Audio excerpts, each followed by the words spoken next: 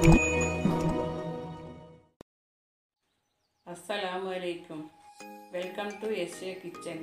இன்னைக்கு ஒரு பொடி செய்ய போகிறேன் அது சர்க்கரை அளவை குறைக்கும் பொடி. எப்படி செய்யலாம் என்று பார்க்கலாம் வாங்க. வெந்தயம் இருநூற்றம்பது கிராம்.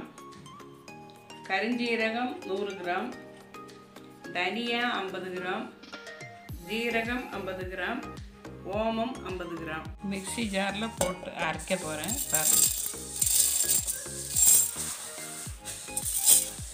கரிஞ்சீரகம் போடுறேன். ஜீரகம் போடுறேன். மல்லி விதை போடுறேன். ஓமம் போடுறேன். இது போட்டு மிக்சியில் அரைச்சி பொடி பண்ணதுக்கப்புறம் காமிக்கிறேன். இந்த பொடி பண்ணியாச்சுங்க ஆனால் இதில் சேர்த்துன ஜாமானெல்லாம் வறுத்து தான் அரைக்கணும். அப்புறம் இது வந்து சுகர் பேஷண்ட்டுக்காரெல்லாம் சாப்பிடலாம்.